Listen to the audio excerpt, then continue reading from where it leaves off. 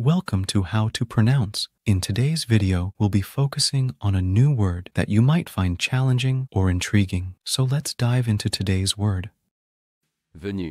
which means, A large ancient city hall or temple in India.